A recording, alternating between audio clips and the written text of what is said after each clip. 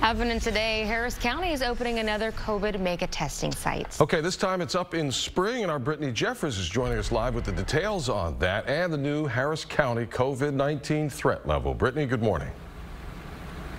Yes, good morning to you. Well, this new testing site is free. It opens up here in about an hour and a half at 7 o'clock. It's going to run until 2 o'clock this afternoon. And this is all just part of the recent push to get people tested to try to prevent the spread of COVID-19 in the area.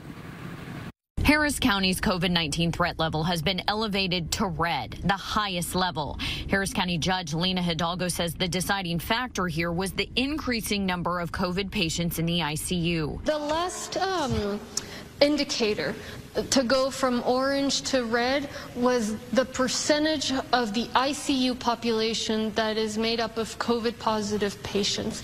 And so that number has crossed 15%. Judge Hidalgo says that number is now over 18%. And the county is taking several steps to reduce that, including opening up a free drive through mega testing site starting this morning at Planet Ford Stadium in spring. Another step is bringing in an additional 1,500 healthcare workers from across Texas and from across the nation to help an already burdened healthcare system in Houston. 900 have arrived from the state, and we are working on another 600 coming from other states across the country. And that's how much help we need. Meanwhile, health officials expect the Omicron peak will be later this month. The CDC says the coronavirus will likely continue to mutate over and over and permanently become a part of life.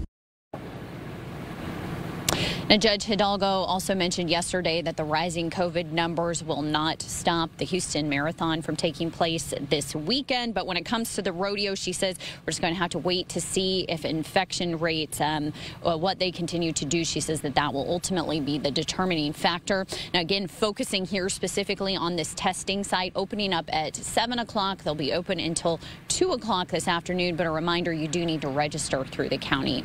Live in Spring, I'm Brittany Jeffers, KPRC 2 News. All right, Brittany, thank you for that. We